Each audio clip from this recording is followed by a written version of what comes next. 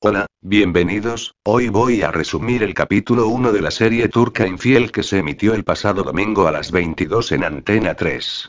Asia ha hecho que todo salte por los aires. En una agradable cena junto a Derin y sus padres, ha decidido contar lo que sabe sobre la relación que la joven tiene con su marido. Después de contarlo todo, Asia se retira de la cena dejando a su marido junto a la familia de su amante. Antes de conocer lo que Volkan estaba haciendo a sus espaldas, Asia era una mujer completamente feliz al lado de Volkan. Su matrimonio y la familia que habían formado junto a su hijo Ali, hacía que diesen la imagen de una familia perfecta a la que envidiar. Sin embargo, cuando la verdad salió a la luz, el mundo de Asia se vino abajo. Éramos felices hasta que destruiste nuestro matrimonio y, con ello, la felicidad de los tres, confiesa con rabia. Después de haber solucionado un pequeño incidente en su llegada al trabajo, Asia se dirige a su despacho para ponerse cómoda. Allí, vemos la gran cantidad de reconocimientos que la doctora tiene, hasta que todo cambia al darse cuenta de algo. Volkan le había prestado su pañuelo por el dolor que tenía en la espalda, pero no había parado en un pequeño detalle. Nada más quitárselo, Asia se da cuenta de que hay un largo cabello rubio en él. Eso, sumado a la barra de labios que ha encontrado entre sus cosas, hace que todas las alarmas de Asia se enciendan. ¿Qué está haciendo Volkan a sus espaldas? Después de ver lo tarde que su marido ha llegado a casa, Asia decide visitar a su amiga Bahar y llevarle unos calabacines rellenos que ha preparado. Su vecina y amiga, al ver el semblante serio con el que llegó, le preguntó por lo que le sucedía. Asia se sinceraba con su amiga, sin saber que ella tenía algo más que añadir a sus sospechas sobre lo que su marido está haciendo a sus espaldas.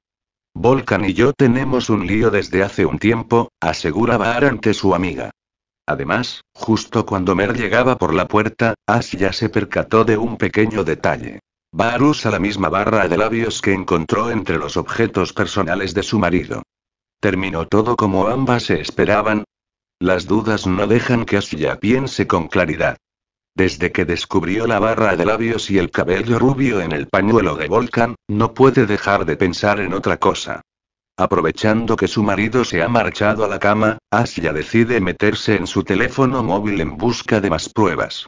A pesar de que en la galería de imágenes no encuentra nada extraño, la joven se encuentra con una reserva de hotel que le hace sospechar. ¿Qué hacía Volcan en el hotel Loven Love? Tras haber estado en la exposición de Gnull, Asia sale al exterior para tomar aire cuando se encuentra con Neil, una de las pacientes a las que no pudo ayudar en su consulta. Ambas vivieron un momento de lo más tenso en el que Neil estaba siendo maltratada por su pareja y en el que Asia no pudo hacer nada. Aprovechando la intimidad de ese encuentro, ambas se han sincerado con la otra y Neil le ha dejado ver que hay salida al problema que ahora mismo está teniendo.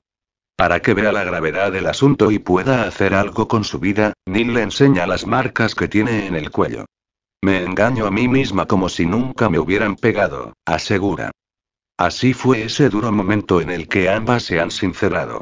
A cambio de las pastillas que Neil necesitaba para dormir, Asia le ha pedido que se convierta en su detective. La joven ha perseguido a Volcan por toda la ciudad y ha llegado hasta el punto en el que él se ha encontrado con una mujer. Después de haber descubierto la verdad, Neil informa a Asia de lo que ha descubierto cuando estaba recogiendo la tarta de cumpleaños de su marido.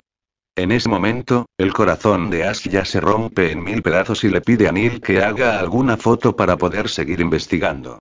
Así ha sido ese inolvidable momento en el que Asia ha descubierto toda la verdad.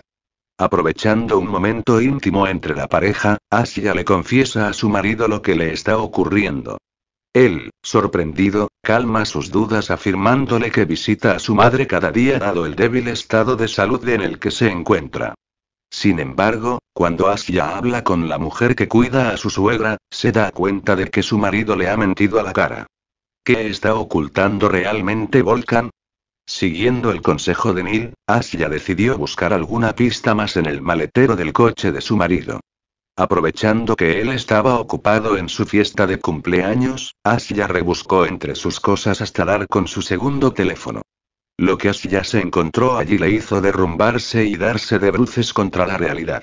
Derin es la amante de su marido y todo su círculo cercano es consciente de la doble vida de su marido. Bar y Der ya lo sabían todo, ¿cómo han podido mentirle a esa manera y ponerse de su lado? Ash ya se ha dado de bruces contra la realidad al descubrir que Derin es la amante de su marido. Además, contra todo pronóstico, también ha descubierto que su círculo más cercano sabe la doble vida que su marido está llevando. Completamente fuera de sí y superada por la situación, Asia ha cogido unas tijeras de su maletín para darle a su marido una puñalada en lo más profundo. ¿Hasta dónde ha sido capaz de llegar Asia después de descubrir todas las mentiras que tanto dolor le han hecho? Durante la celebración de su cumpleaños, Volkan ha dedicado unas palabras a todas aquellas personas que son más importantes en su vida.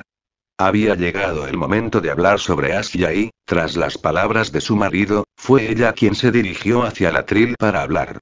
En vez de pronunciarse, Asia decidió besar a su marido en los labios, despertando la furia de Derin, su amante. Instantes previos, Asia descubrió que era ella la mujer con la que su marido se está viendo a escondidas.